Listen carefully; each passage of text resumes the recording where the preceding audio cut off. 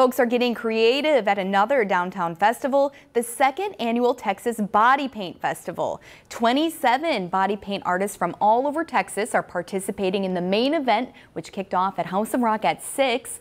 The theme is Fantastic Beasts, Real and Imagined. So artists did their best designs and models walk the stage. The grand prize winner will go home with a thousand bucks.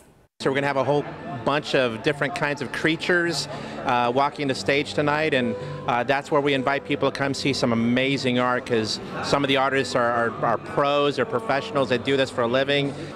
There was also a kid-friendly portion of the festival earlier in the day at Bar Under the Sun, where kiddos could enjoy some face painting.